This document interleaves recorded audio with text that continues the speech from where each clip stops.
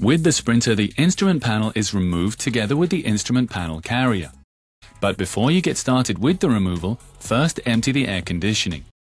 This is a specific feature of the Sprinter. First remove the air filter housing. Unscrew and remove the hose clamp and the intake hose. Then disconnect the two plugs, move the jump starting point, and raise the air filter housing in front and remove.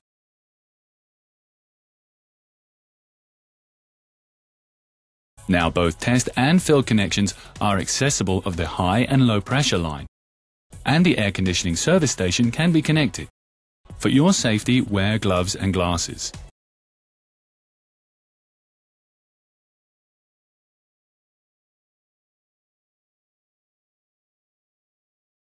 Remove the protective caps.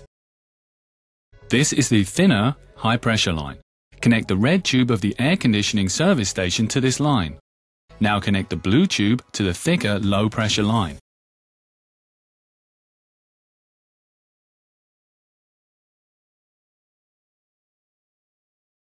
And the coolant can be removed.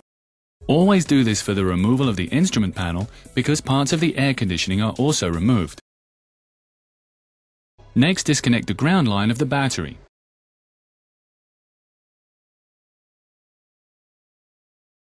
If the vehicle has a roof antenna, the complete front roof lining must be removed. Otherwise, you can't get access to the roof antenna cables and the wiring harness. Start with the trim of the A-pillar, then the sun visors, and the dome lamp would switch. For the installation, tighten the new screws with 5 Newton meters. Also remove the trim of the B-pillar and lastly the roof lining. We'll come back to the exposed antenna cables later. Now the preparations are concluded and you can get started with the removal of the instrument panel. Take out the lower covers in the driver's footwell. Unscrew a total of three screws. First remove the cover under the air nozzle, and next the cover under the steering wheel.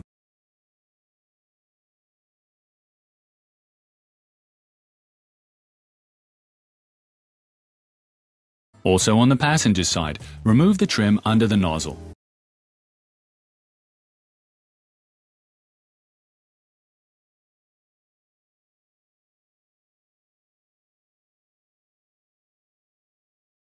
Unclip the two clips and unscrew three screws in the lower part of the glove box.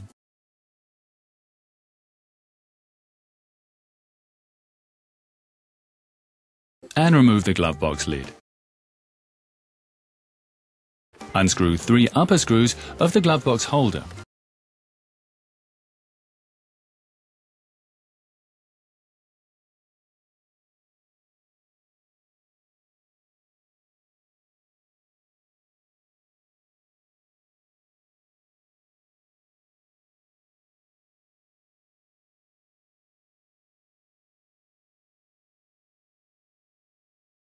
Now press down the trim, remove the air hose and separate the plug for the lighting.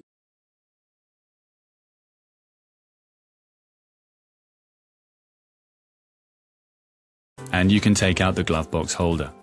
For the next step, lever out the screen in the middle section. Use an assembly wedge.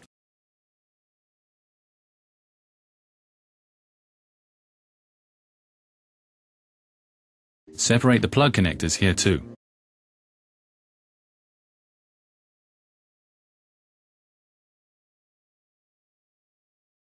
Both trim parts of the air nozzles are fastened with two screws which must be unscrewed. And remove both screens. On the passenger side, take out the floor mat, remove the front cover and the footwell cover in the middle. The cover strip of the floor covering in the passenger's entrance has three screws which must be unscrewed. On the driver's side, the strip is already removed. Fold the floor covering backwards and remove both foam parts. Unscrew four screws in the lower cover of the middle console. And the cover can be removed.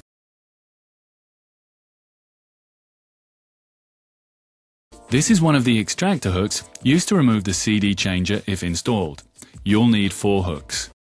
Use the hooks and unclip the four hold clips of the CD changer. You can order the hooks with the following part number W 000 545 0744.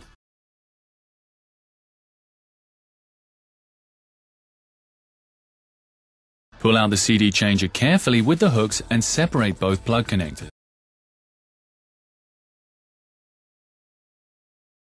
Next remove the cover of the gear shift. Lever the upper left corner, lift the corner and pull upwards. Now the screws are next. These five screws must be unscrewed. Also around the cover are four screws which must be unscrewed. Now you can take off the cover and remember to disconnect the plug connector of the 12 volt outlet.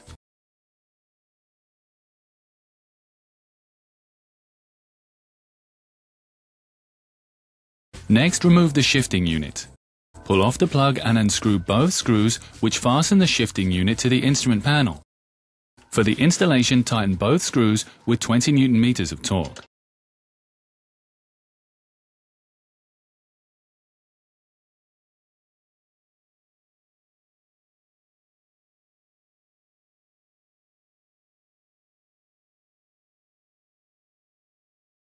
Unclip the gear cables on top using the assembly wedge. Next, unclip the cotter pin with a screwdriver. Then take off the shifting unit by sliding the gear cables through the given holes. When doing this, do not kink the gear cables. With the adjusting of the shifter, the function must be checked and repeated if necessary for the setting. Now the side air nozzles are next. Unscrew a total of three screws. One is on top in the cover, and the others are under the headlight switch. Take out the air nozzle. Here on the driver's side, disconnect the plug from the headlight switch. On the passenger side, unscrew the three screws. Here once more you see the positions of the screws.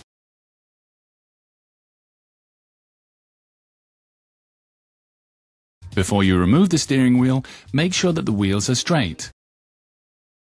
But first remove the airbag. Undo the screws on the left and right in the steering wheel. For the installation, tighten both screws with 6 newton meters.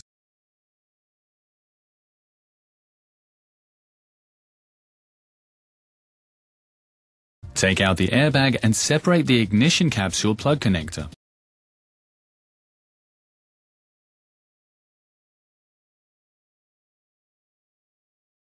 And also the cable for the horn and the steering wheel keys. And remove the airbag. With the flex head wrench, unscrew the steering spindle screw. Please be sure to use a new screw for the installation and tighten with 80 newton meters. Take the steering wheel from the steering column. Lead the cables carefully through the opening in the steering wheel. For the next step, separate the plugs of the roof antenna from the cable harness. There are four plugs.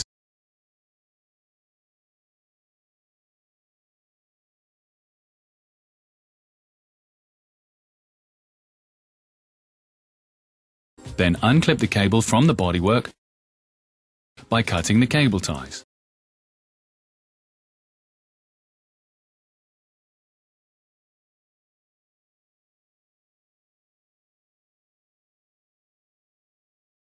Now remove the side covering in the passenger's footwell. Undo a hold clip on top and below a screw.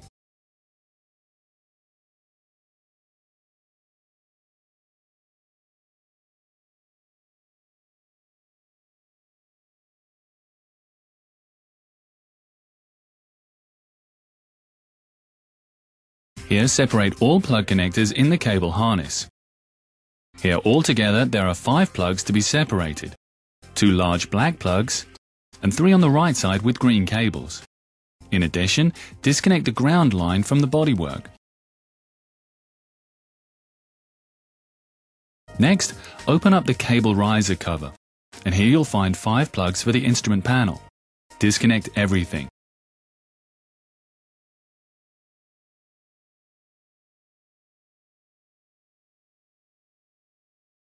Here you'll see all plug connectors more clearly which must be disconnected.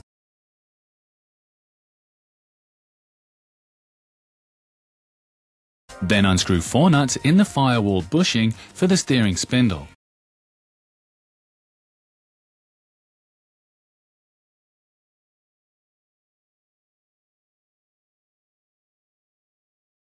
To be able to better show you the removal of the lower fuse strip, we remove the lower panel cover. Pull the clips at the side outward and push the fuse strip to the back. Afterwards, cut the cable tie from the bodywork.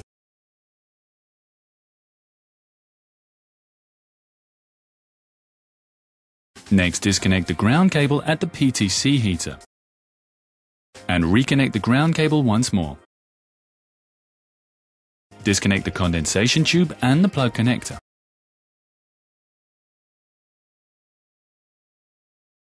Then unscrew the positive cable of the battery.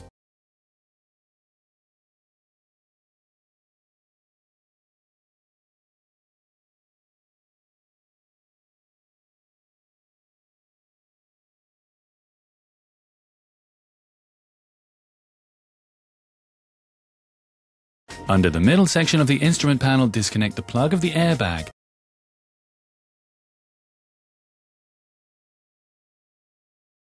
Then proceed with the separation of connections and pipelines of the instrument panel in the engine compartment. First disconnect the universal joint of the steering spindle. Do this by unscrewing the nut. For the reinstallation, tighten the nut with 25 Newton meters.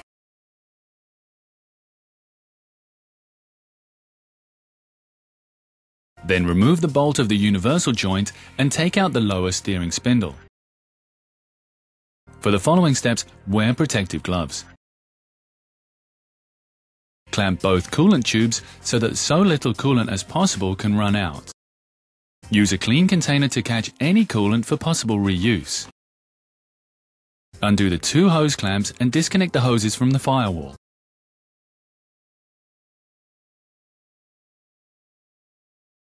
Then disconnect both refrigerant lines from the expansion valve. For the installation, tighten the nut with 6 Newton meters.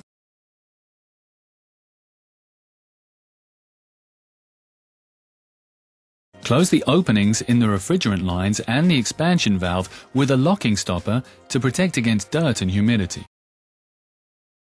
You order the locking stopper kit under the number W129 589 9100.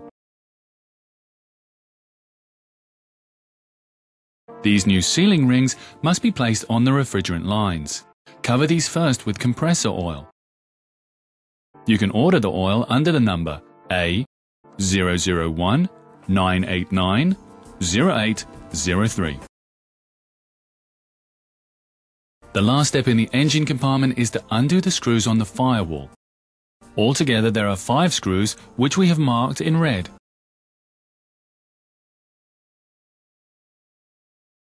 For the installation use a torque of 20 Newton meters. Then in the cabin unscrew a total of 7 screws in the instrument panel carrier, 2 on the left,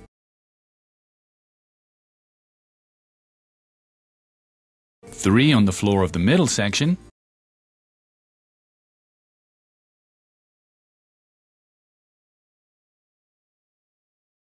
and two on the right.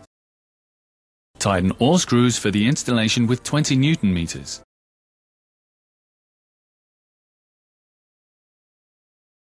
And now the instrument panel with the carrier can be lifted out. This must be done with two people because the component is heavy.